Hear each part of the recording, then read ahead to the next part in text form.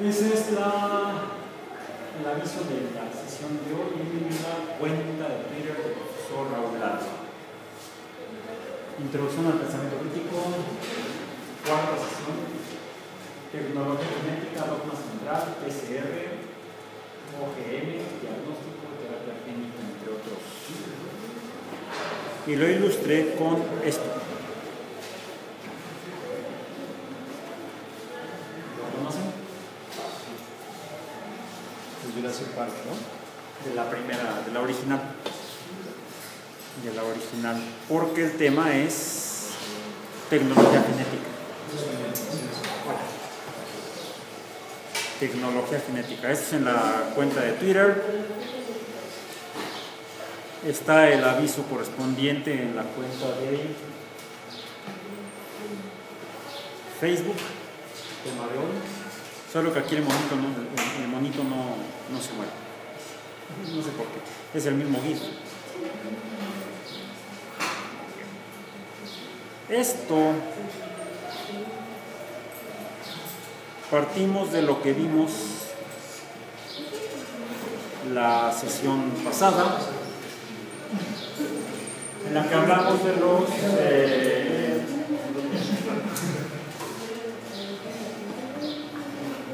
paradigmas fundacionales de la, de la biología. La teoría de la evolución de Edward la, la teoría genética o la, las leyes de la herencia de Mendel y la teoría celular. Y por ejemplo en este, en este volumen que es el de Life on Earth de Edward Wilson, viene esta imagen, dice resultados de uno de los premios de Mendel. Eh, en México hacen los chicharros arrugados y lisos, rugosos y lisos. Y las proporciones que obtuvo uh, después de cruzarlos Mendel fueron de 5.474 chícharos lisos y 1.850 chícharos rugosos. Definitivamente Mendel era un tenía la paciencia de Von para ponerse a contar cuántos son en total. Eh, 6.000, 7.324. Son muchos chícharos. ¿Cuántos platos de crema de chícharos de eso? ¿Cuántos platos de arroz a la mexicana? No sé por qué siempre ponen chicharro. Mi hija opina diferente. Se los come en eventos especiales. Ok, lo que da una proporción de 3 a 1. Una vez que se cruzaron, los eh, dos, eh, un 25%, solamente un 25% de los chicharros tenía características, eh, las semillas de, de ser rugosas. Eso, eso le llevó a Mendel a desarrollar este modelo matemático, que explica matemáticamente cómo se es probable matemáticamente que se transfieran las características hereditarias de padres a hijos e incluso cómo se van diferenciando de la parental hacia las filiales diferentes conforme pasa el tiempo. Diversidad biológica que también consideró eh, Charles Darwin como fundamento para la... Ah, ya no. Ah, no, van a entrar, porque si no parecería que tendrías eh, rabo de apatosaurio. No, es que dijeron que iban a entrar, por eso. Ya que vamos a hablar del tema en el día de hoy, eh, daría lugar a la especiación cuando hay eh, separación geográfica de las especies. Eso lo entendió Darwin a partir de su viaje de 5 años en el Vigo. 5 años. Y se quejan de una salida de campo de un fin de semana. ok. Entonces, estos fueron los antecedentes que dio lugar al concepto de gene. Fue la entidad en la que Mendel se imaginó de alguna manera tendría que ser transferida de padres a hijos para darles las características eh, físicas. Y ya sabemos también bioquímicas eh, es eh, la naturaleza biológica material del gene se vino descubriendo hasta la primera mitad del siglo XX por la investigación encabezada por Avery, MacLeod y McCarthy en la década de los 30 y que definió que los genes están, tienen, están formados por ácidos nucleicos.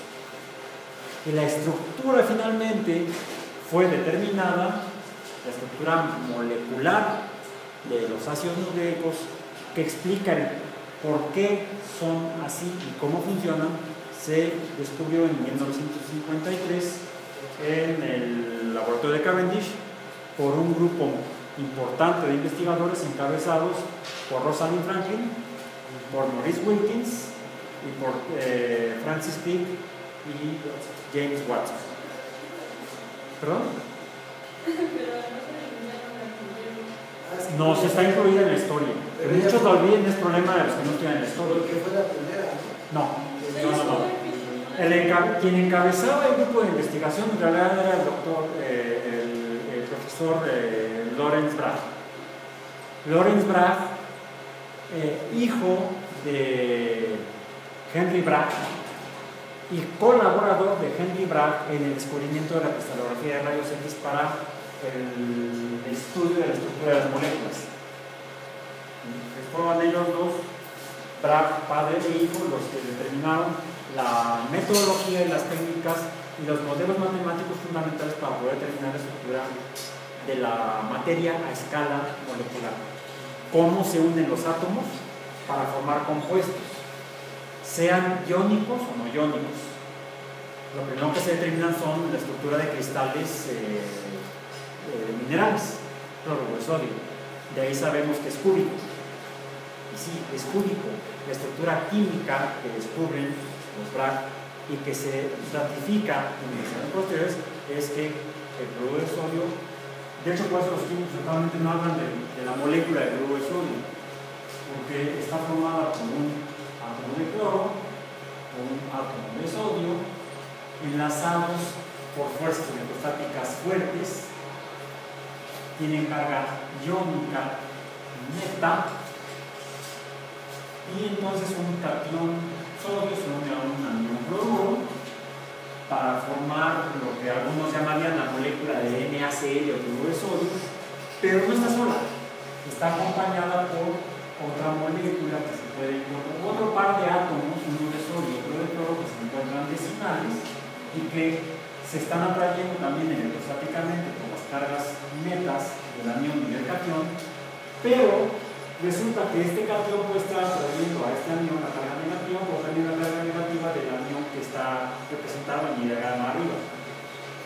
Entonces, ¿cuál es la, cuántas moléculas de cloro ven ahí? ¿Dos? Cuatro posibles. Una, dos, tres, cuatro. ¿Cuál es la buena? ¿Cuáles son las buenas? Todas.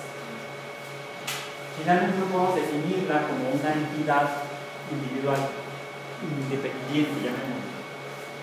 Es por eso que se llama, como, se llama compuestos iónicos, no moléculas. Pero si no lo su clase de química, apúntenlo. Entonces, aquí tenemos de manera difusa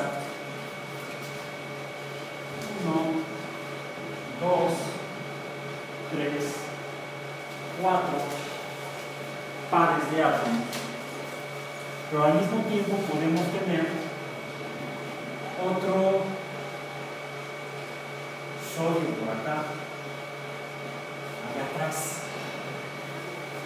otro globo terráqueo.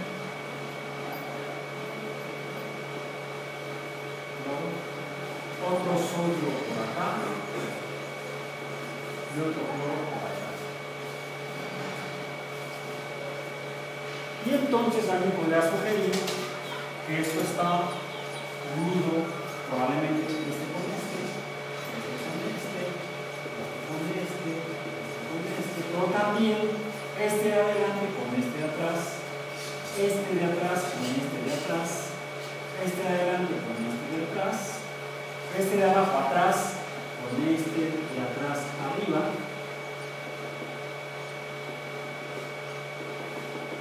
Lo que nos da el supuesto cubo. Y eso se supo gracias a la exterioridad de X desarrollada por Lawrence Bragg y Henry Bragg. En el Cavendish, en Londres. En la década de los 50, después de la Segunda Guerra Mundial, están trabajando eh, un equipo de físicos, de hecho los Bragg eran físicos. Todos ellos eran físicos. Maurice Wilkins era físico. Francis Crick era físico. Eh, Rosalind Franklin era física expertos unos más en matemáticas como eh, Francis Crick, expertos en cristalografía de rayos X como José Rosalind Franklin y Maurice Wilkins, y se une a ellos un biólogo norteamericano, biólogo. De hecho, se graduó de la Universidad de Chicago como ornitólogo, James Louis Watson un ornitólogo de la Universidad de Chicago. ¿Qué tenía que haciendo un ornitólogo estudiando moléculas? Pues finalmente hizo su doctorado en bioquímica en, el, eh, un laboratorio asociado, al que también estaba asociado Linus Pauling. Y es por eso, Linus Pauling, descubridor de la estructura de las proteínas, la estructura alfa hélice, las proteínas la, la descubre por cristalografía de rayos X a principios de los 50 también. Eh, no, antes, antes, antes. Linus Pauling había trabajado también en el proyecto Manhattan en la Segunda Guerra Mundial, en el desarrollo de la bomba atómica, como químico, era químico. Eh, no era biólogo. Entonces, eh, químico, está estudiando el, ADN para de determinar cuál es la estructura de esa molécula que ya se sabe, ya se sabe que es la que, en la que están codificados los genes. Pero para poder saber cómo funcionan necesitamos saber cómo es. Eh, por medio de cristalografía de rayos X, que es una técnica que él manejaba muy bien, por eso dio el premio Nobel de Química, el premio Nobel de Química, por la estructura de las proteínas. Eh, a partir de las imágenes que él obtiene en su laboratorio, llega a la conclusión de que el ADN está conformado por una triple hélice una triple hélice. Está publicado en los Proceedings of the National Academy of Sciences en 1953. Ya se veía con otro premio.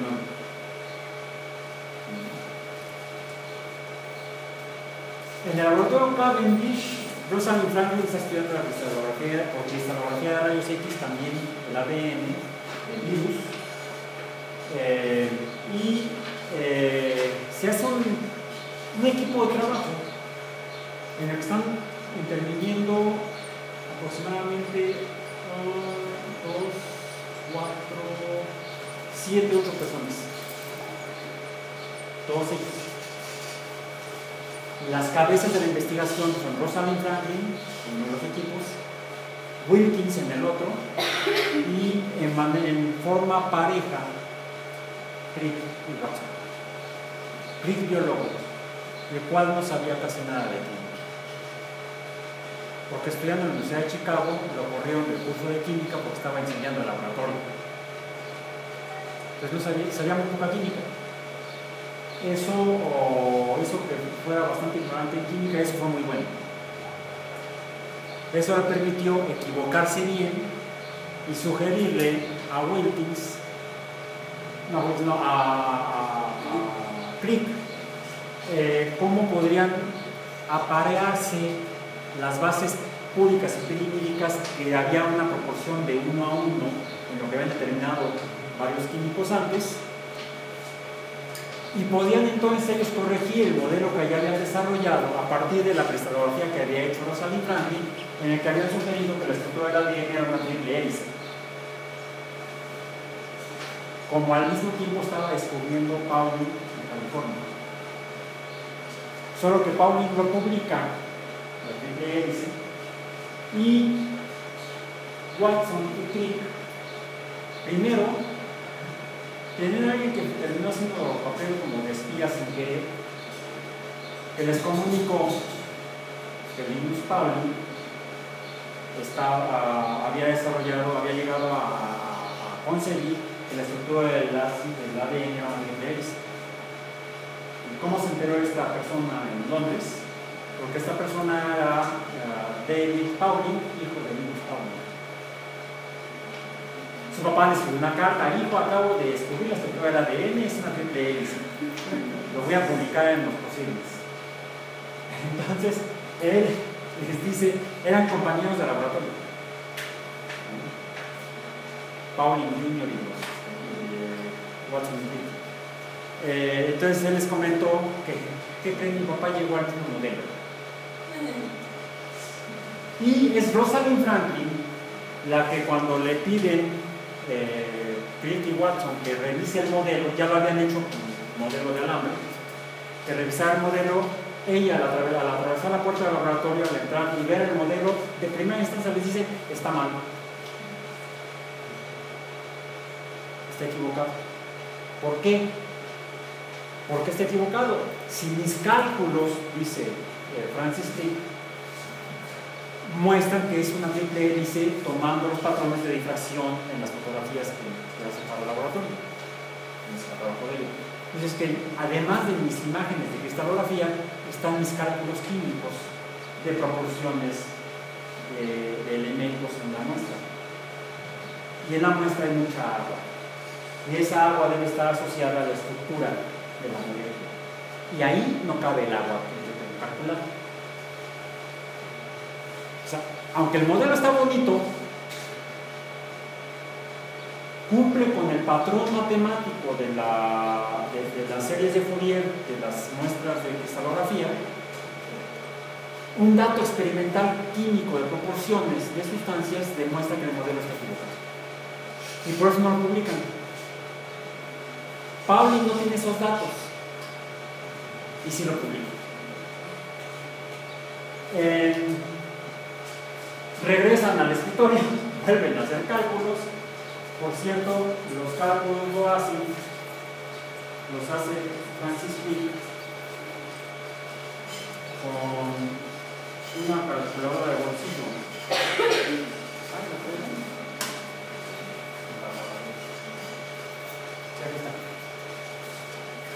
Como esta. Esta es la calculadora que bueno, es nuestra. No creo que me hubiera dejado, Es una calculadora como estas con las que Francis Crick hace los cálculos de la serie de Fourier. Eh, regresan a los cálculos y entonces llega a la conclusión de que es una doble hélice.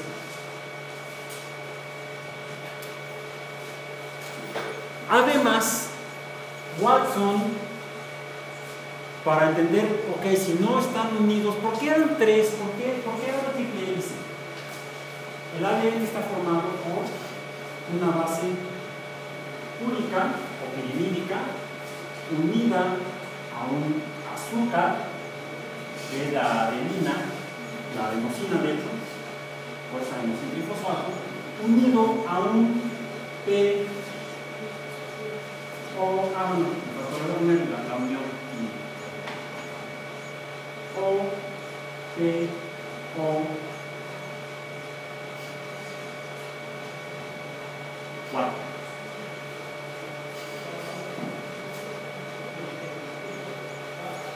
Finalmente,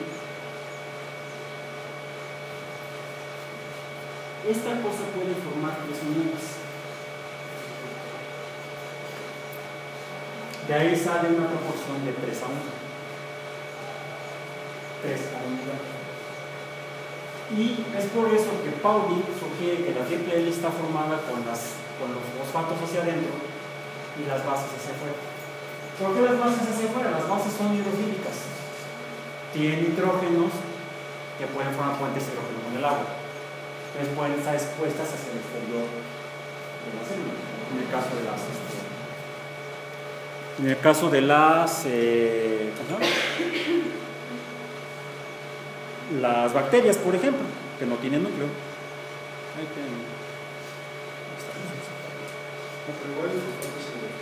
El. Y el fosfato, pero el fosfato estaba hacia adentro, estaba, estaría escondido del agua.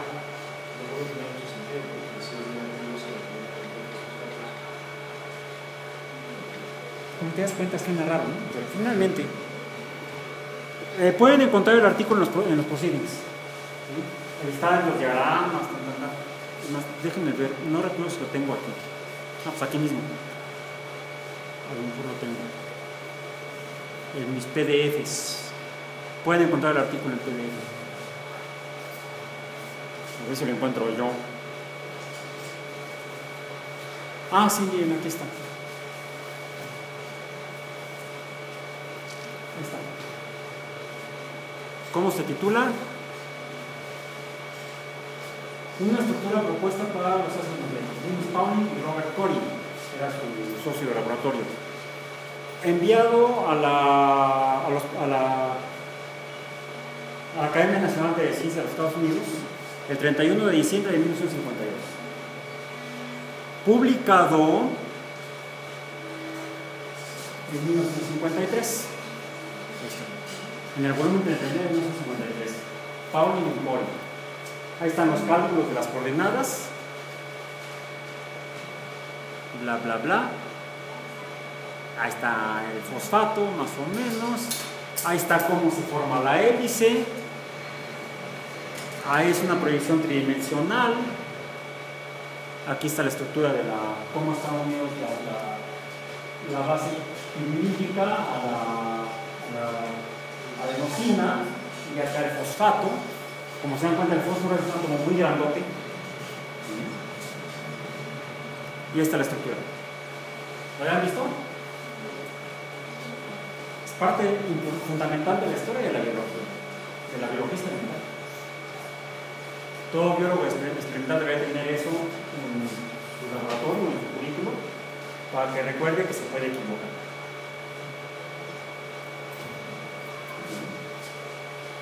Pauling, premio Nobel en química. Se equivocó. Todos hemos metido la pata en alguna ocasión. Yo más de. Finalmente, finalmente, he aquí los tres artículos, tres publicados en el 25 de abril de 1953 en Nature. Porque James Watson, no saber química y revisar las estructuras de las bases públicas y pirimídicas en los libros de química y saber que no eran los fosfatos los que servirían para la unión de las hélices, sí sabían que eran hélices, pero cuántas y cómo estaban arregladas, definitivamente no eran por los fosfatos. Si no eran los fosfatos, no quedaban más que las bases. ¿Cómo las uno? ¿Cómo las junto? Pues un libro de química, copió las imágenes en cartón, las recortó y se puso a jugar a los, rompecabezas. Y encontró que habría una posibilidad simétrica si juntaba una base pública con una pirimídica. Y además encontró que AT, adenina y timina podían unirse porque coincidían con la posibilidad de, forma, de puentes hidrógenos y citosina y guanina coincidían con el número de puentes hidrógenos que podían formar. Eso lo hizo un fin de semana en su, en su departamento. El lunes llega temprano al laboratorio, le muestra la estructura que acababa de ocurrir y le da Crick. Y Crick entonces agarra su, re- su regla de cálculo, se pone a revisar y a repasar los cálculos y dice ya está. Mandan a hacer el modelo al taller del Cavendish y es esta la estructura que finalmente actualmente se publica en todos los libros de biología y de química del mundo. Sí, obviamente mandan a hacer el modelo, llaman a Rosalind Franklin para que lo revise y ella dice, ese es. Entonces, ella fue fundamental porque ella fue la mejor, fue, era la mejor instaladora de eh, era muy buena como física y como química y por eso, por eso tenían los datos apropiados. Tenían los datos fundamentales para poder llegar al modelo correcto. Eh, tengo aquí una imagen están Si no encuentran la imagen este, donde están James Watson y Francis Crick este, frente al modelo de alambre, y fíjense lo que tiene Francis Crick en la mano con la que está señalando la estructura. Una regla de cálculo. La está usando como apuntador, como señalizador. Bien, entonces, este artículo finalmente está escrito por James Watson y Francis Crick. He ahí la imagen de la, la, la, imagen este, cristalográfica. El siguiente artículo, ah, se titula el artículo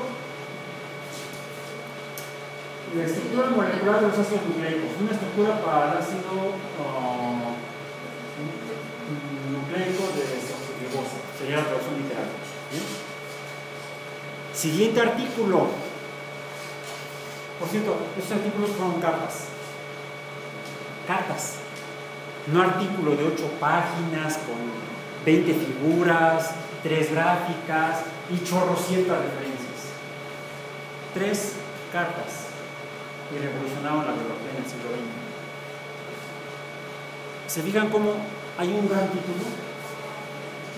Estructura molecular de ácidos nucleicos. Primero, esta es una carta, termina firmada por J.D. Watson, FHC Crick, estas son referencias, Laboratorio de Cavendish en Cambridge, Reino Unido.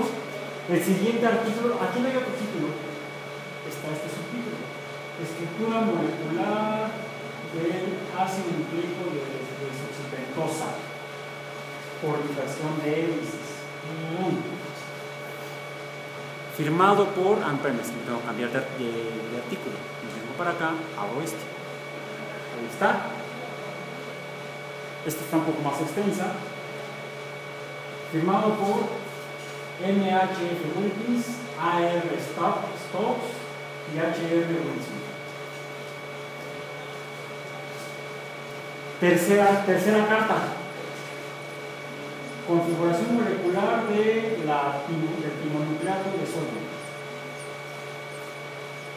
Dice quién lo firma. Ah, tengo que cambiar de artículo. es este? Ahí está. configuración molecular de la, del timonucleato de sodio, firmado por Rosa Franklin y R.G. Gosling. Fueron tres artículos, no fue uno. Fueron esos investigadores, fue un equipo de trabajo en el Y si no se hubiera dado esa mezcla de interacciones entre profesionales de las ciencias, físicos, fisicoquímicos y un biólogo despistado, afortunadamente despistado, no se hubiera llegado en ese momento al conocimiento de la estructura de la vida. Eh, les ameritó años después, en, nueve años después, en 1962, el otorgamiento del premio Nobel en, en medicina y fisiología a James Watson y Francis Crick. En física, a, no mentira, en química, a Maurice Wilkins y en química a, se me fue el nombre, alguien que había estudiado la estructura de la, de la hemoglobina, se me fue el nombre. Esos fueron los tres premios en sí Nobel de Ciencia de 1962. ¿Por qué Rosalind Franklin no? Porque había fallecido tres años antes, en 1952, cuatro años antes, en 1958. a causa de una enfermedad laboral leucemia por su exposición a los rayos X. Y como el premio Nobel no se otorga, salvo en casos muy especiales de manera póstuma, no se le pudo otorgar a Rosa Franklin. Fueron factores históricos.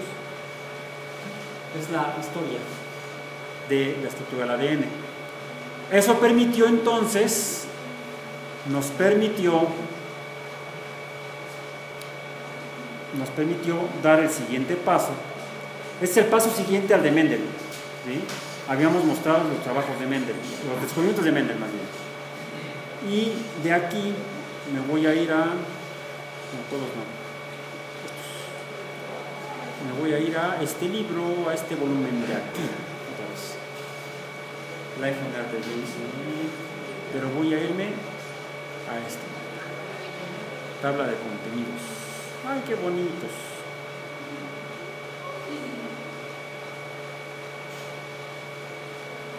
Tecnología genética. Tecnología. Ese texto de ahí abajo sería entonces un texto de podemos adjudicar a Edward Wilson. Las maravillas genéticas en la película Parque Jurásico no son posibles. Pero la investigación, las maravillas de la investigación genética que surgen de la tecnología de, del ADN son reales. Sin embargo, bueno, esto lo van ustedes a estudiar más adelante en los cursos, a lo mejor ya lo estudiaron, ya llevaban los cursos de biología molecular, de genética molecular. Esta, la parte técnica ya la conocen. ¿Quién ha ¿Quiénes han llevado ya los cursos de, correspondientes a tecnología de ADN? Levanten la mano. 1, 2, 3, 4, 5, 6, 7, 8, 9. Los demás a lo mejor los van a llevar, no sé si están en la resultativa, pues no, si son obligatorias, pues a fuerza. ¿Bien? Eh, pues esto ya lo manejan, amplificación del DNA clonado, una cosa es la clonación, otra cosa es la amplificación, eh, la reacción de cadena de polimerasa y un diagrama de cómo opera.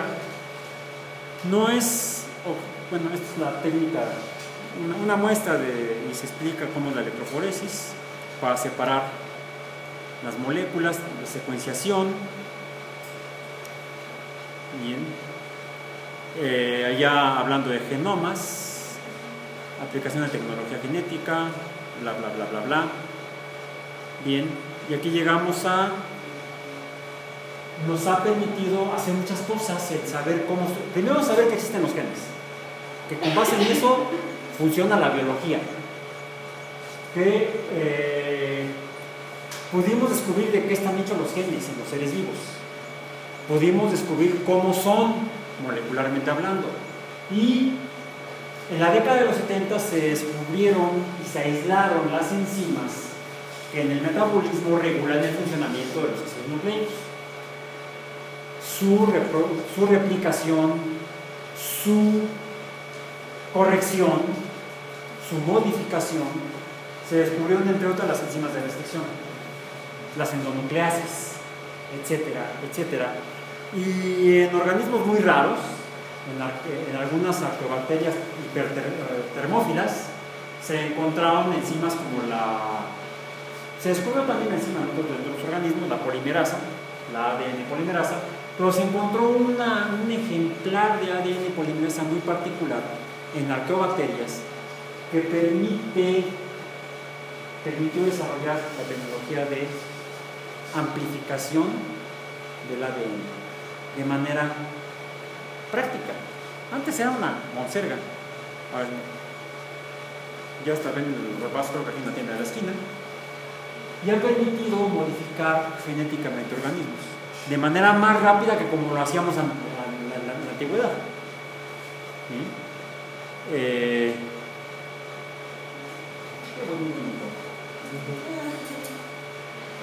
copycat. Dice que es un gato creado por transferencia del núcleo a una célula de un gato adulto, de un gato, de un gato adulto al huevo de otro gato, así una gata, cuyo núcleo había sido removido. En otras palabras, un gato clonado. En fin, bueno. Eh, llegamos a la ingeniería genética en humanos. Y llegamos a que se usa, por ejemplo, para Quizá algunos de ustedes o algunos de sus compañeros eh, entraban finalmente a estudiar biología experimental porque querían ser CSI. CSI, o sea, en otro lado, pero también ha sido una herramienta muy poderosa para poder, recordando la película que vimos en la primera sesión, tratar de hacer justicia de manera más justa o con, con evidencias más sólidas. Antes de continuar, por favor, revisen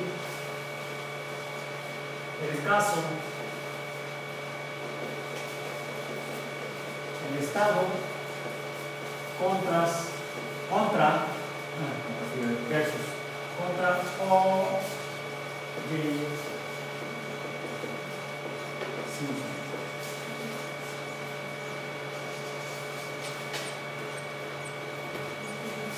Y hagan un mensaje específicamente sobre el uso de la tecnología de ADN en ese caso.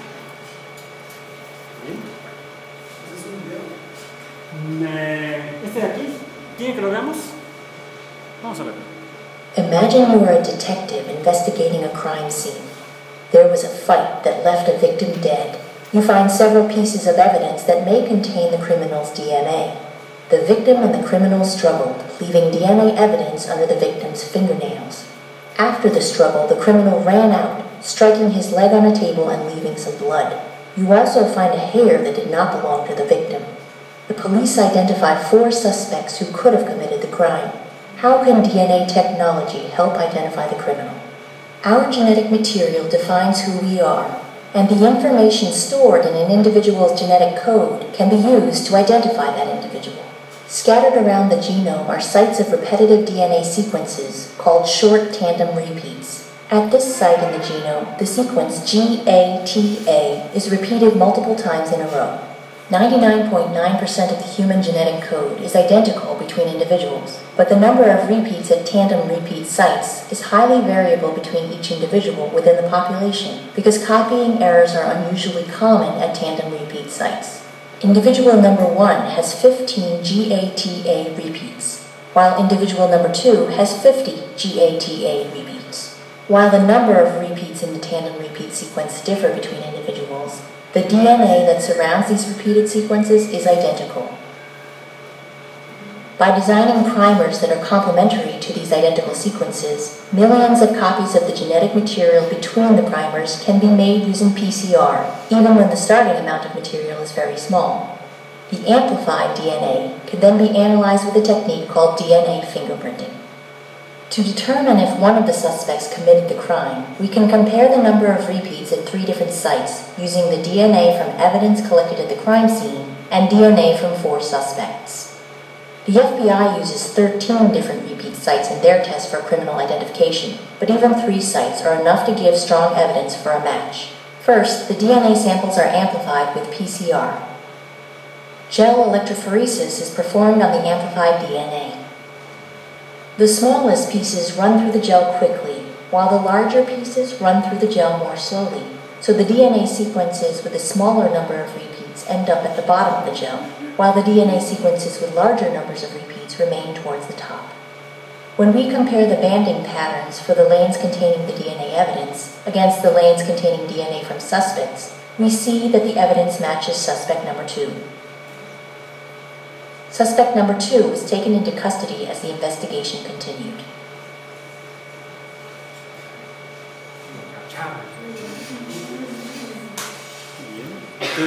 este es un ejemplo de lo que se ha derivado de toda esta investigación biológica, todo este conocimiento biológico. Se mostró aquí también, por ejemplo, este, mostramos, pues esto sería casi un divertimento, y esto sería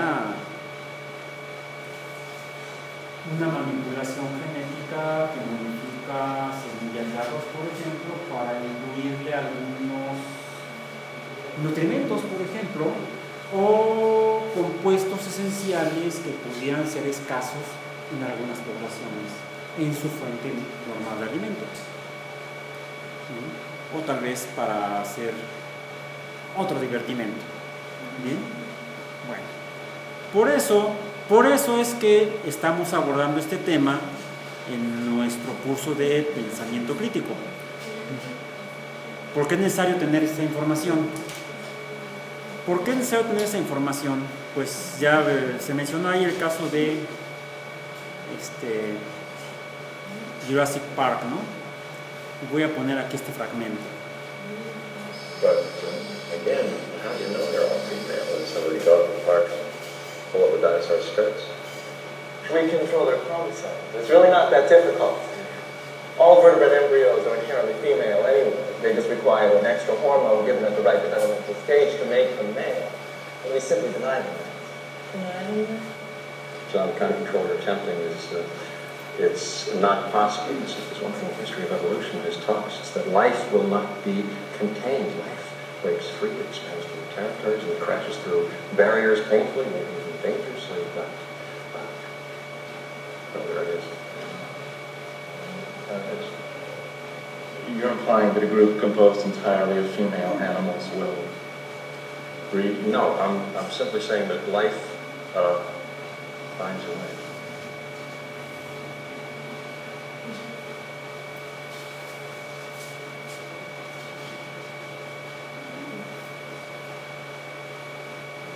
Mm, organismos modificados o elaborados a través de la tecnología que se deriva del conocimiento biológico de la base de la herencia, el genio descubierto, propuesto por humanos. ¿Quién me hubiera dicho mente? Em, y esto es en cuanto a la... Ya vimos un caso de uso de la tecnología, por ejemplo, para la justicia. Vimos un ejemplo, aunque puede ser de ciencia ficción, para la el- reconstitución de especies extintas. Los dinosaurios se extinguieron por causas naturales. Hay extinciones por causas no naturales. Eso de la documental de las distintas, ¿qué tan, qué tan bien va con eso? Hasta donde he tenido noticias, sigue el trabajo de producir, porque está- se está haciendo, o sea, hay que hacerlo, producir un organismo a partir de material genético recuperado de mamuts congelados en el permafrost en ártico. En- la- el trabajo tiene años, tiene ya más de una década, de la primera vez que yo me enteré eh, que eso estaba, lo estaban empezando a hacer. Y recurrentemente salen las noticias que están trabajando en ello. Incluso han cambiado de patrocinadores, porque algo que es evidente es que la tecnología no es económica, no es barata en la película es un millonario el que hace el parque. ¿Sí? No un, par de estudiantes de los experimental de la UAM.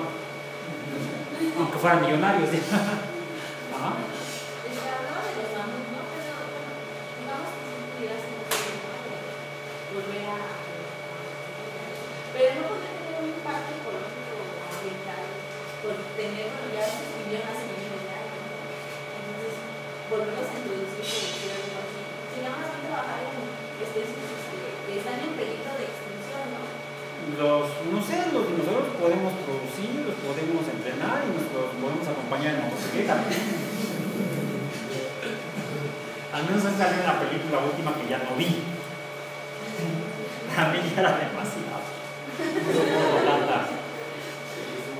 Sí, no, eso ya no es ciencia ficción, eso ya es fantasía. Y fantasía ni siquiera es la buena. Digo yo, es mi forma particular de pensar respecto a este tipo de cine. Pero está, bueno, ok, a los dinosaurios fue un meteoritazo. No tenían agencia espacial. Nosotros sí tenemos. deberíamos usarla para cosas que les habría sido útil a los dinosaurios. Eh, los mamuts. Los mamuts son dos organismos extintos hace alrededor de mil años, al final de la última glaciación. Hubo un cambio climático natural y se extinguieron varias especies, otros sobrevivimos, el Homo sapiens sobrevivió a la extinción masiva de hace 10.000 años. Si rehacemos mamuts o mastodontes o búfalos lanudos de esa época, hay un montón de especies y de varias, y de, varias de ellas hay restos eh, rescatables entre nosotros. ¿Y los hacemos? ¿Quién quiere hacerlo como su PDI? Ya saben, pueden ahí ponerlo como propuesta. Este, el problema es el laboratorio donde lo puedan. A lo mejor en el del el laboratorio divisional. Eh, pero hay otras especies. Eh, los dinosaurios fue natural, meteorito. Los mamuts fue natural, climático natural. Pero por ejemplo al, al, al, al al lobo marsupial, a ese en la década de los 20 murió el último en un zoológico de Australia, eh, después de que lo extinguimos por sobre depredación, no, no era cacería, era depredación salvaje. Y como es en cuantas otras especies. La vaquita del Golfo de California está en riesgo de extinción.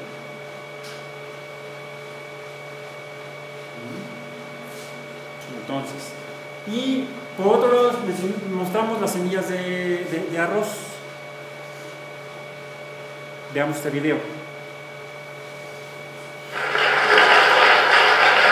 Well, you have figured out already. I'm going to talk about jeans. I'm going to talk about soup. Este, Alright, mejor este ah. en particular, no tengo aquí el otro.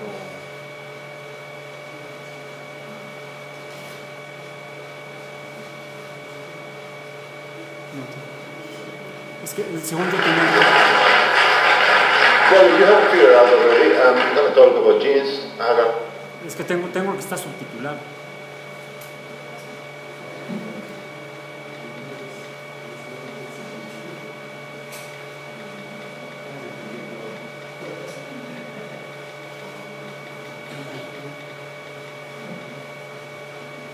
Aquí está. Es el mismo, pero subtitulado al español.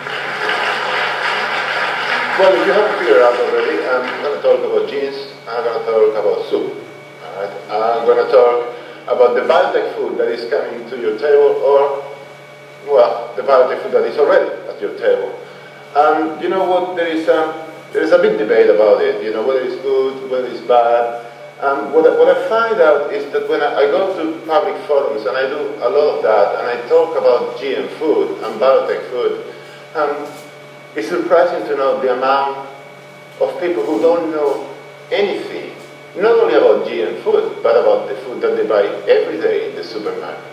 You see, they come to me and they say, Jimmy, why are you complicating my life, you know, uh, with all this GM food? What we have now is perfectly okay. And the truth is that this is not a proper question, because in this question you're assuming that what you have today is perfectly okay. What do I talk about? Well, I'm talking about that what you have today, your normal food in the supermarket, is natural, is old, is traditional, and is safe. And above all, there is plenty, plenty of food for everyone. All you need to do is go to the supermarket and buy more food. That's it. Simple as that.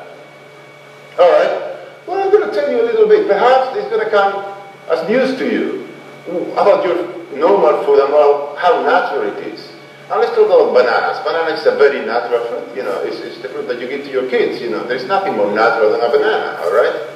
But I tell you what, the banana that you buy today is this one, your current varieties. All right. If you want the natural banana, here you have it. That's the natural banana. Anything weird about it? Anything you notice? Oh, it was seeds. Hmm. Why would a plant want to have seeds? Aha! So, what is it happening here? What is happening is that you don't want to have a bite of the banana and start spitting seeds. Alright, so as humans, what have we done? We've done the most unnatural thing you can think of. We've given it three copies of the genome. Now, anyone who knows about biology knows that you normally have two copies of the genome, one from your mom, one from your dad. Some plants have four copies, or six, or eight, or 22, but you never have an odd number of copies. That is so unnatural that nature is telling you, but you're not reproducing. You're not having seed, I'm not letting you. Well, it's very convenient for us, but not for the bananas. You can go to tomatoes, and you can see the tomato you buy every day in the market, all right? But you know what? You should meet the natural tomato. The natural tomato that you still find in South America, in the mountains, because it comes from there. That is the natural tomato. Or you can have a look, and look at this thing. This thing that doesn't look very familiar, does it? But what about this? Does it look familiar? Well, this is the natural maize. This is the maize that the cultures in Central America were eating. They were so important to them that there was a god for it, Consentio. And that is the maize that they were eating, this one, not this. Now, but let's put it together. This is the one I'm talking about. This is the one you buy in the supermarket. Why is it that you have this one? Well, you have this one because in order to feed a family with this, you need a lot of plants. All right? But look, I got good news for you. I got good news for you because now everybody's mad about natural. Everything is natural. Your uh, shampoo is natural. Your shirts are made of natural fibers. And I googled it and I found a big company in Australia who is selling toilet paper as all natural toilet paper. So everything is natural. Everything's got to be natural for you. And you know, it, to a point it's all right. You know, nature is good to us. They give us air and sunlight. Nature will give us you know, the food that you eat. But you know what? Nature will give us tsunamis. That will kill a quarter of a million people in one night. And you know what? There is nothing more natural than a tsunami. There's nothing man-made about it, all right? Oh, and nature, which nature will give us malaria. Why? Oh, because we have this mosquito here, and the mosquito is got to eat. All right? So the thing is that nature is not good, and nature is not bad. Nature is neutral. For nature, everybody got the same rights. Why? Because the misconception is that we are the only sons of Mother Nature, and we're not.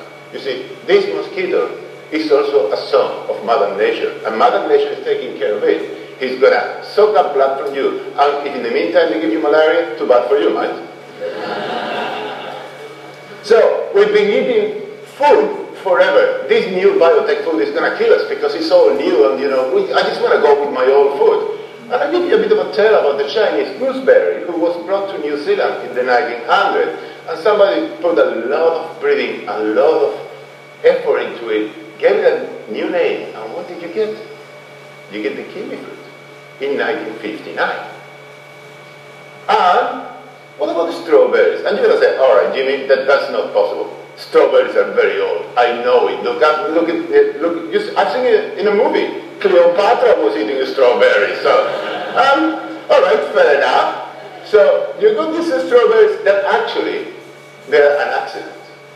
There's an accidental cross of two different species, one species, one coming from Virginia, one coming from Chile. And you might think, all right, look, they're plants, they expand their territories, the Virginians were going down, the Chileans were going up, they found themselves, I don't know, Central America, the Caribbean, have a romantic night, you know. and the new strawberries came. But I tell you what, it was romantic. It was romantic because it happened in Paris, all right? Or in the outskirts of Paris, in Versailles.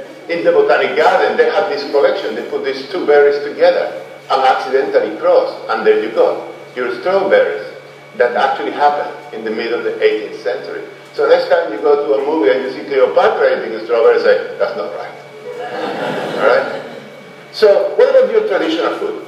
Your traditional food, like potatoes in Europe, chilies in, in India. You, you know, there can't be an Indian food without chilies. You know, a curry is not a curry without chili. But cassava in Africa, guess what?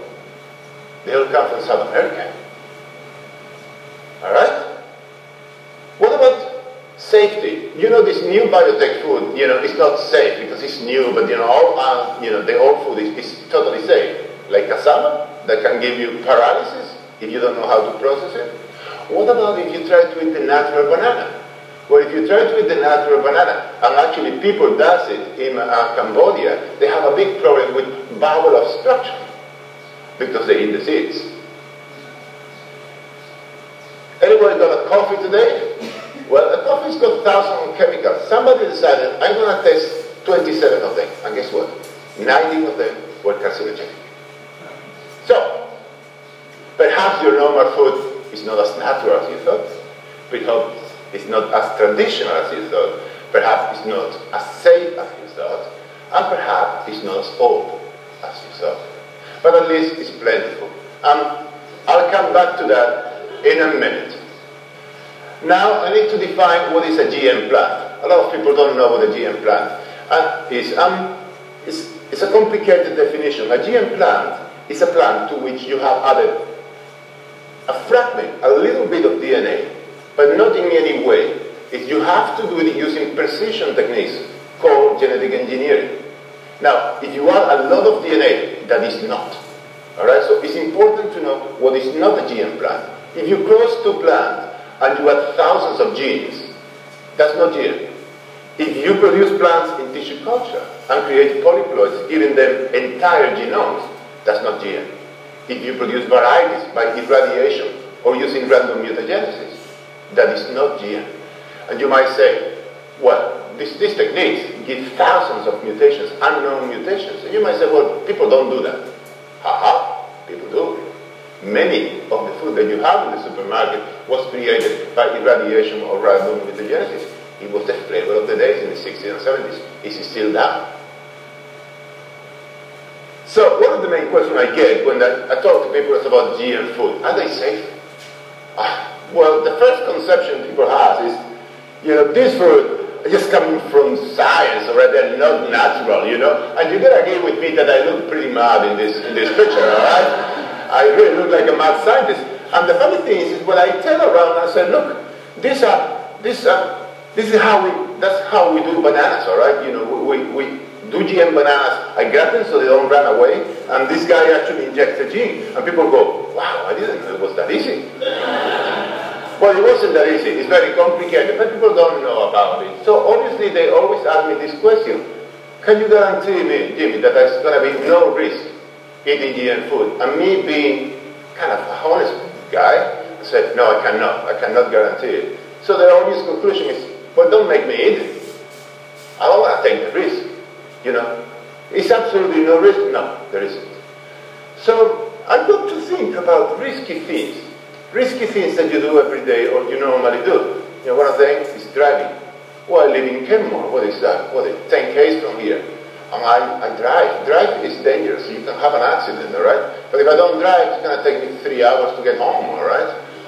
Or you say, all right, I'm not driving. I'm just going to walk because driving is too dangerous. So you walk and sooner or later you're going to find a street and you're going to have to cross it. And you're stuck in there and you say, what do I do? Well, mind if you don't cross the street, you're not getting home, all right? You say, well, never mind, I'm going to I'm gonna move. I'm going to buy a house at the university campus, all right? So I don't have to cross the street. But you see, classes are in the morning. And if you walk under the sun, you get a fantastic skin cancer. You practice sport. I brought my foot doing windsurfing you cook, you can, you, you can, oh, you can burn yourself, you breathe, and you can get the flu. But are you to stop breathing? So the thing is, pretty much everything you do, everything you do, is risky. Because when you start thinking about the things that are not risky, and you think, and you think, and you keep thinking, you end up with the conclusion to say, Mike, obviously I cannot promise you that there's absolutely zero risk in GM food because there is absolutely no zero risk in anything you do in life. What do you do? You think about it and you decide, is it worth it or not? So, tell me about classical breeding. Not GM, classical breeding. They got this celery variety, very healthy celery. Mom was a celery, dad was a celery. They crossed. They got this variety that was so carcinogenic that farm workers got rashes in their skin. By the way, you don't need any permit to sell this. You don't need to try anything. So, what about being to your food? Well, I- I've got some bad news for you. The, the news are that in the next two generations, uh, we will consume twice as much food as has been consumed in the entire history of humankind. Depending on your belief, that's since Adam and Eve or since the monkeys came down from the trees. Twice as much food. And what? You're going to have to produce it. And we're beginning to see shortages of food. And we're beginning to see social unrest because food prices are going up. And you know what? For you, if a kilo of tomato costs $1.50 or $2.50, you don't even know. Okay? For these guys, if a kilo of rice costs 10 cents or 15 cents, it's the difference between I'm eating and not eating. So, for a lot of people who are not as fortunate as us, that is a problem. So, what major crops do we have? Just some data for you. Um, it's almost impossible to find any soybeans that are not GM anymore. Um, our cotton, and you said, well, but we don't eat cotton. Think again. Because if you go and have some fish and chips, it's made with cotton oil. So you got maize, you got canola. Um, if you want to talk about the commercial impacts, what is it that you have? Um, since GM food started in 1996, um, there have been one and a half billion hectares planted of GM food. Contrary to what a lot of people say, most of the farmers who grow GM food are small farmers. They are not huge multinationals. 90% are small farmers. Some of them from India, some of them from Australia. And if you look at the environmental impact, it's incredible that essentially GM crops have contributed to a huge gain in avoiding environmental impact of agriculture. One example is that half a million kilos of active ingredient have been saved by these crops. Um, remember, active ingredient is normally 1% of the total thing. All right? And now, the way that you, you give, you know, you go around in your field is you go and you spray. This guy's got this mask, but you gotta agree with me, that is not very good, all right? Some others are not so lucky. They don't have any masks. They're breathing it. And you know what? In case you didn't know, the incidence of cancer and respiratory diseases in farmers is a lot higher than in people who are not related to farm work. Why? Because they do this a lot. Now, in Australia, we don't do it. Our fields are too big, so we use airplanes. And when we use airplanes, you know, it's, they're very convenient to fumigate, but they use a lot of fuel. So another impact that you have from this is that just in 2011 alone, not in the whole history, just in 2011, 23 billion kilos of CO2 was saved. And that is equivalent to 10 million cars off the road. You see, the previous speaker that you saw was talking about 2 million, this is 10 million cars in one year. So, I hope I've convinced you that GM is really the solution to all your problems, you know, hair loss, whatever, all right? The truth is not, it isn't. This over-glorified, this is just one more technique, all right? It just happens to be a technique that is technically complicated and very difficult to explain it to your neighbors. And therefore, you do, whether you are in favor or against, you do have to respect the opinion of people who is afraid of them. Because people are afraid of the things that they don't understand. And this is not easily understandable by people. Alright? So, um, my final remarks. Look, I hope I've convinced you that wherever you go, there's no such a thing as natural food. Alright? Um, we do have a big problem. Um, you might not realize it, but we do have a big problem. And a lot of governments, a lot of our countries are really nervous about the whole thing. Mind you, we do have enough food today to feed humanity. People are hungry because of political problems, not because of agricultural problems. All right? But mind you, in 50 years, that won't be the case. Eh? Right? GM is not the solution, and GM is not perfect. And I would say anything that you can solve without using GM, you should. But you would be really silly not to use GM to solve problems that cannot be solved any other way. And of course, we need to have a logical debate. But the problem in this debate with GM food most of the time is that it uses a lot of theatricals. It doesn't use science. So you can have a debate, but you have to base your debate in science, not on beliefs. Because if you tell me, oh look, GM food are not good because God told me, well, you just killed it. Because what can I say? Can I say, can you please give me, uh, do you have an email for God? Can you give me a phone number? Can I talk to your God? Can I talk to your God, all right, about, you know, this GM thing? Say, no, no, talk. You know, God talks through me, not through you. Ah, all right? And that's a bit of a problem. But that doesn't mean that we don't have to respect those people that even given the science, they decide not to have it. Because respect is number one. But you cannot tolerate people who will tell you, this is this because it is my belief, all right? Ah, yeah. You can say you can't have it, but you cannot tell me that is the reason for it. It's like when you go, you know, all these cows and like that. You, you can, I respect vegetarians, all right? And I, I truly respect them. But it's your belief, you do it. But don't come to me to tell me I'm a vegetarian because I respect life. Because that is not true. If you respect life, you're going to have to eat rocks.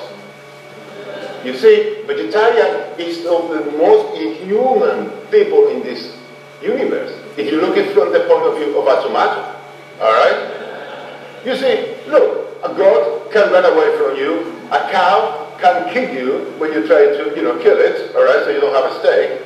But a tomato, tomato, it's just, it's, it's growing, it can't run away from you. And you know what? You don't even kill it, you eat it alive. Come on, so don't give me that. Thank you very much.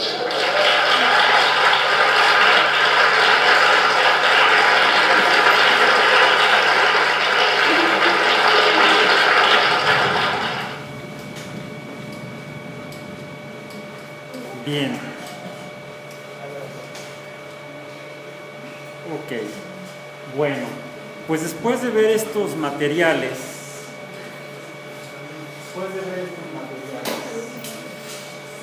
después de haber eh, tenido acceso a esta información, em, solo nos queda retomar finalmente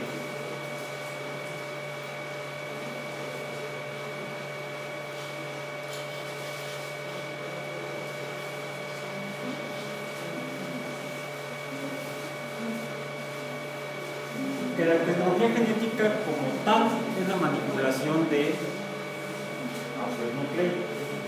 Y los genes, si los genes son nucleicos, el completo, o el genoma completo, o el cromosoma completo, o le meto de alguna manera material genético a otro organismo, estoy haciendo tecnología genética.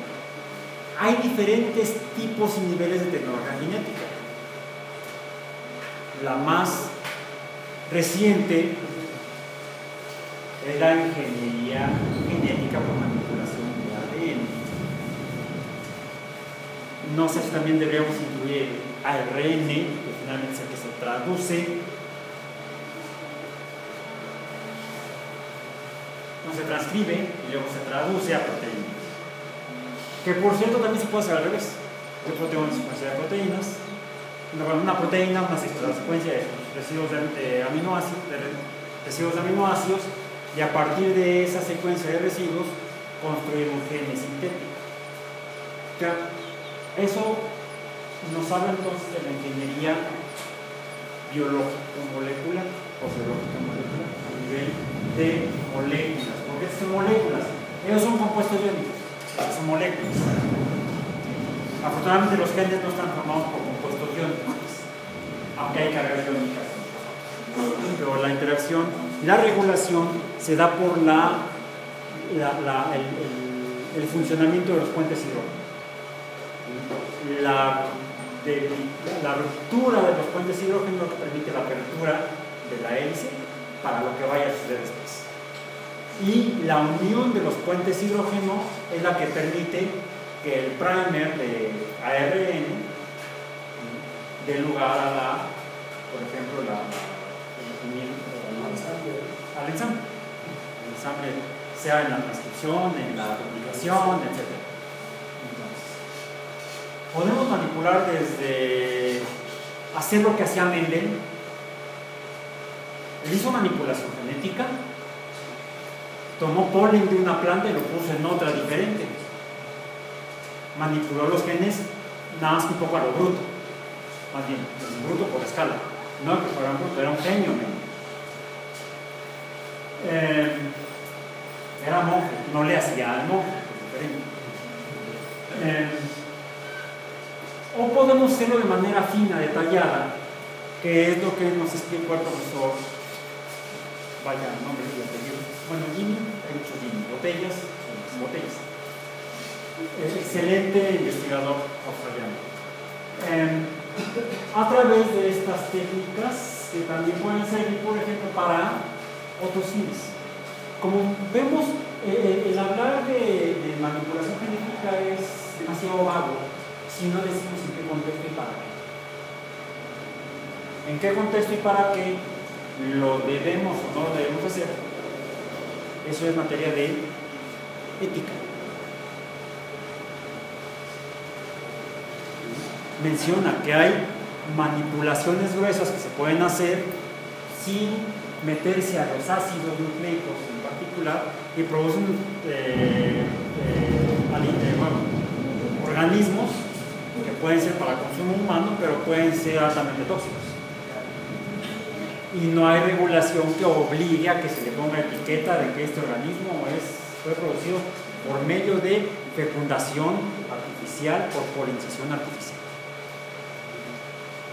Algunos exigen que los organismos o los, organismos, los productos para consumo humano obtenidos por técnicas de reconstrucción genética molecular lleven ahí la etiqueta OGM. OGM. Este, que le pongan. OGM. Organismo.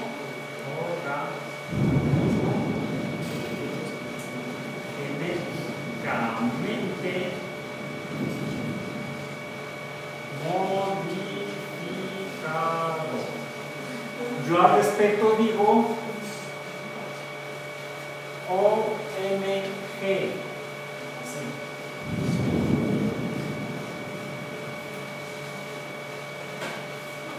Oh my God. Yo, yo, yo, yo, yo profeso, eh, yo creo en existencia yo más bien digo así, oh my God. A él sí le tengo fe. Oh my God. Em,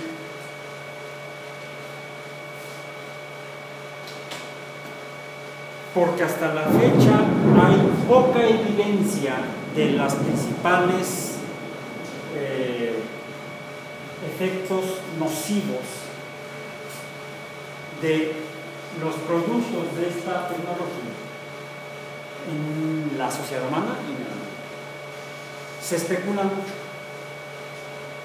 se especula mucho, pero muchas veces quienes más hablan son los que presentan menos evidencias.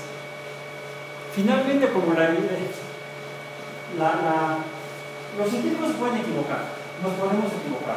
Pavel se equivocó. Pero por eso el trabajo científico es revisable, revisado, contrastado. Y hasta que se llega a un consenso ni siquiera es un consenso, a un acuerdo mayoritario, no por, democrático, ni por apelar a la mayoría, sino porque a la mayoría de las personas. No se apela a la mayoría de las personas, se apela a la mayoría de los resultados experimentales. Es diferente. No es la persona la que habla, la que habla es el experimento. Y para eso publico, para que los demás lo repitan. Últimamente los investigadores publican para que les les dé dinero. No, el publicar es para que otros colegas repitan el experimento y verifiquen si es cierto lo que encontré o es un error. Ojo, ya hablaremos de ello más adelante, porque la forma en la que se ha, administ- se ha estado administrando la ciencia a nivel mundial en los últimos 30 años ha perturbado este motivo original de la investigación científica, la publicación y las consecuencias, los resultados que de ellos obtienen. Lo bueno es que los OGMs, bueno, es un problema con muchos, o sea, tiene varios niveles ejemplo, una cosa de las que me acordó de las OGMs es que me parece interesante por el impacto ambiental, porque no es, o sea, sí da información, pero no tampoco da toda la información necesaria para poder ganar un. Es decir, él habla un poco de eh, que se puede mejorar el impacto ambiental y luego se consume el CO2, bla, bla, bla. Pero por otro lado también, como son más fáciles de sembrar, no sé qué, significa que también tienen más extensión de tierra. Y yo sé que los genes no solo se utilizan para humanos, sino también para comida de ganado, ¿no? que también es, por otro lado, una especie de impacto ambiental. O sea, yo, y, y otra cosa que me parece interesante es que sí está bien verlo desde el punto de vista científico, pero no solo desde ese punto de vista, porque pues, es muy reduccionista, ¿no? Esta revisión tantos niveles de. Ajá. No, él se refiere a, a- a cuánto la evidencia para afirmar si algo es cierto respecto al efecto de. Precisamente fue lo que hizo con el impacto ambiental, que yo personalmente tampoco lo creo. Claro, es que es otro punto, que es impacto ambiental. Sí, total. O sea, es, es- es tan genérico sí. como OGM. OGM no es solamente el maíz, o el arroz, o el trigo, o los plátanos, o los tomates. Hay productos eh, eh, genéticamente modificados, organismos genéticamente modificados en uso desde hace más de 30 años. Y no para agricultura, no para alimentación humana, sino para farmacia, para producción de fármacos. Y eso ha salvado mucha gente. El problema, el problema es, y lo vamos a abordar en otro de los temas a lo largo del curso, el problema real no es genético, no es tecnológico, no es de esta parte de la ciencia, ni siquiera es ético desde el punto de vista del uso de esta tecnología para la producción de, la producción agrícola, ni siquiera es esa. El problema real y más grave de hablar de OGMs como se habla socialmente y sobre todo en boca de los activistas es en cuanto a la comunicación y el mensaje e interpretación que da la sociedad a lo que es organismos genéticamente modificados y que puede llevar a acciones legales como la implementación de leyes que controlen en exceso esta actividad científica. Y entonces, entonces, en lugar de producir beneficios al controlar la liberación de posibles productos que podrían tener efectivamente algunos efectos nocivos a la sociedad humana o al entorno natural, lleven a la prohibición del uso de la tecnología, por ejemplo, para, para obtener fármacos. Es ahí donde más importante se hace todavía, además de dar esta información de manera apropiada al público, es a los tomadores de decisiones. Vaya atrás. Este, a mí lo que me recomendaron esos OGM, más que nada de, de que lo que están haciendo ahorita, de no tratar de, de modificar tanto al producto, sino a la planta. Porque hay una clase que se da aquí, que no sabía que se daba, entré porque tenía una libre. Este, y es algo de ingeniería eh, en la agricultura, que ellos se, se enfocan en hacer una planta resistente a las plagas y resistente, por ejemplo, a los quillas y todo ese tipo de cosas. Y ellos ven sociales y pues, como cómo va a salir el, el, producto. Yo lo que, le, lo que le pregunté al profesor, pues ellos tienen una idea de, de, hacer una planta donde pueda ser resistente a las plagas. O sea, cuando llegue la plaga, la, la misma planta secreta alguna sustancia y se aleja. Yo lo que le pregunté fue, bueno, está bien que haya algunas, algunos insectos que sí son malos para, para la planta, pero ¿y qué pasa con los que son polinizadores? O sea, les va a dar en la torre a ellos es que precisamente la objeción que tú hiciste es la misma objeción que debería hacerse al uso de este término de impacto ambiental así de vago o de organismo genéticamente modificado así de vago. Y lo que él me decía es que supuestamente son tan específicas las partículas que se secretan en esa planta que solamente está afectando a las plagas. Ya no entrando en clase vale. A lo que voy a esto, es que para tomar decisiones se requiere información. Para tomar decisiones en materia de actividad agrícola se debe tener información. ¿Cuál? La necesaria. ¿De qué tipo? De la que se necesite. Es decir, no solamente información biológica, información química, información física, información histórica, información social, información económica, información legal del contexto legal de la sociedad donde se pretende usar, porque las leyes humanas, las leyes penales o las leyes civiles varían de sociedad a sociedad, de nación a nación y a veces de, entidad a entidad, de estado a estado. Por ejemplo, en el caso de la ahora Ciudad de México, está legalizada la interrupción del embarazo a partir de la vigésima semana, algo así. En otros estados está, no está autorizada la, autorizada la- la- la desde un momento en el tiempo indefinible, indeterminable. Y además mal nombrado. Nombrado con base en conceptos mágicos y no científicos. Dicen a partir del momento de la concepción. La única concepción que conozco yo es mi vecina Concha. En biología hablamos de fecundación, que es el momento en que el, el óvulo y el espermatozoide se fusionan, que a su vez es un proceso molecularmente extendido en el tiempo. Es ahí a lo que voy. ¿Cómo están escritas las leyes humanas? ¿En qué, en qué lenguaje qué significan?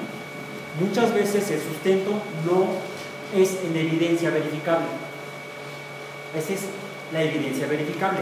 Esa que en la profesión científica estamos acostumbrados a que haga el colega cuando publicamos el paper. Debe verificar si lo que estamos diciendo es cierto o no. Bueno, eh, no sé, a mí me pareció un poco truculento algo que él está haciendo, porque parece que, que hace una defensa de este tipo de, de organismos genéticamente modificados. Y acabamos de mencionar que lo que necesitamos para tomar decisiones es información. Y él en el video dice en una parte que la gente le pregunta, ¿puedo, puedo consumir esto sin algún riesgo? ¿Seguro que puedo? ¿Es para mi salud seguro esto? Y él dice, no sé. Y, y, y, y te pone de ejemplo, pero tienes que tomar riesgos, dice, haces muchas cosas en la vida y no te puedes quedar en la inacción por temor a los riesgos. Sí. Pues a mí me parece que nos que dice que experimentar con, digamos, con nosotros y a ver qué, qué- qué va a pasar, pero me parece también como un poco irresponsable decir, pues no sé, pero, pero consume. Es decir, es una, es una, una, una ética respecto a de decir, no sé bien todavía, no, no sabemos, pero hay que consumirlos. ¿Viniste a la sesión en la que revisamos las clases? Sí. Ok. Eh, ¿Qué contestarías? ¿Es posible decir sí o no? Digo, me parece muy válido que digan no sé, Ajá. que digan no, no te van a hacer ningún daño. No, no. La respuesta más honesta y por lo tanto más ética es no sé.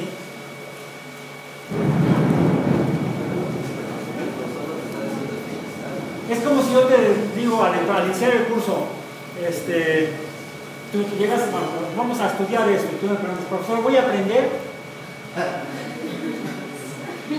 yo te digo sí, y al final no aprendiste todo lo del programa, yo fui un mentiroso.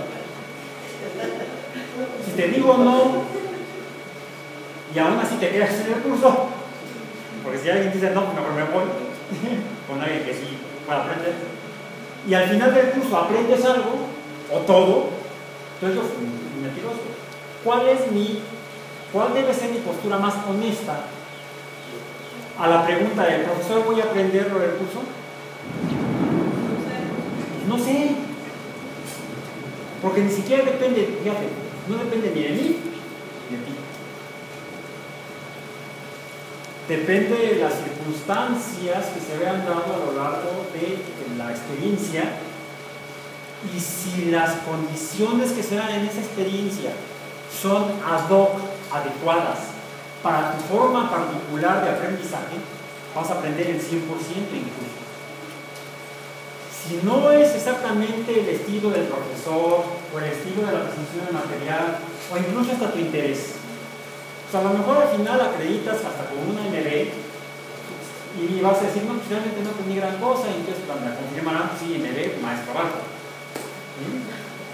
Entonces, es algo que en el caso de la actividad científica, vista desde afuera, y cuando un científico le pregunta sobre cualquier tema y el científico llega a contestar, no sé, el que está enfrente se desmaya o manda volar al científico. Si dice científico, es el científico, debería saber. Porque existe la imagen pública de la ciencia de que la ciencia, así como antiguamente otras formas de conocer y de pensar, conocían todo, lo sabían todo, Mr. Know It All, el señor sabe todo. ¿sí? Eh, actualmente mucha gente supone que un científico de un tema específico debe saberlo todo. ¿Y saben qué es lo más grave? que luego los estudiantes de ciencias piensan lo mismo. A mí me pasaba también, ya trabajando, por uno de mis trabajos de la universidad fue colaborando con unos colegas del departamento de física, estábamos haciendo un material educativo, la idea era novedoso, pero al final de cuentas pues ya no hicimos nada, porque vimos que todo ya estaba hecho. No, no se hizo nada, eh, se hicieron algunas cosas, pero no se completó el proyecto. Y una profesora de la UNAM me, eh, hizo, me hizo una pregunta. Yo era el biólogo del grupo, yo era como James Watson del grupo, totalmente ignorante de física, pero sabía mucho biólogo, eso quería yo. Porque me pregunta a la profesora y me quedo así como, y con cara de preocupación. Y entonces ella me dice, Raúl, no te preocupes, no tienes por qué hacerlo todo. Creo que fue la, la mejor lección que he tenido en la universidad como estudiante y como profesor. Uno no tiene por qué saberlo todo. Y es mejor saber eso, saber que uno es ignorante porque entonces uno puede dar el siguiente paso. El paso para aprender. Que es, desafortunadamente, muchas veces eso le falta al tomador de decisiones típicamente político. Escuchen un político contestar a esa pregunta. Casi les puedo garantizar, no sé, no estoy seguro, pero casi les puedo garantizar que muy probablemente nunca van a tener o un no sé, o un cuando el Señor se equivocó, un usted disculpe, sobre todo a la sociedad. Es muchas veces lo que diferencia a quien usa el pensamiento crítico con base en ciencia para contestar alguien que usa otras formas de pensamiento. Y de eso estaremos hablando en las siguientes sesiones. Por hoy, pues termino la clase, pero no nos vamos porque está cayendo un diluvio. Que te dije que no bailaras, ¿eh? Pero bailaste la danza de la lluvia. ¿O quién lavó su carro? ¿Quién lavó su carro para darle pampa? Esa debe ser la causa de la lluvia. Nos vemos entonces el próximo jueves.